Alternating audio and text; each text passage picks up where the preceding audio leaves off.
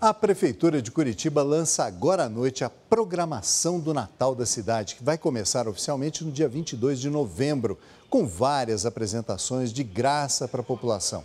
A Elisa Rossato está no Memorial de Curitiba e traz as novidades para a gente. Boa noite, Elisa, bem-vinda.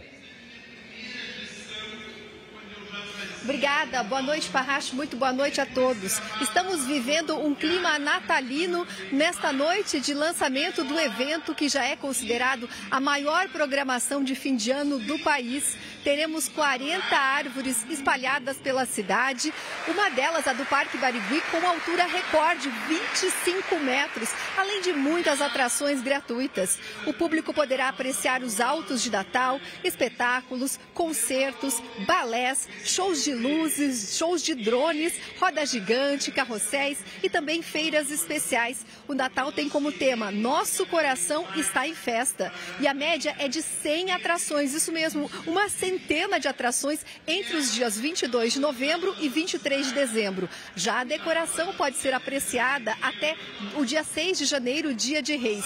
No ano passado, o Natal de Curitiba atraiu cerca de 2 milhões de espectadores, um número seis vezes vezes maior do que na primeira edição lá em 2017, consolidando a cidade como destino turístico nessa data tão significativa. Então, todos estão convidados e o melhor de tudo, Parracho, de graça. Voltamos é, com você no estúdio. Muito legal. Obrigado, viu, Elisa, por trazer esse clima de Natal aí pra gente. Prefeito Rafael Greca ali apresentando as novidades desse ano. Obrigado.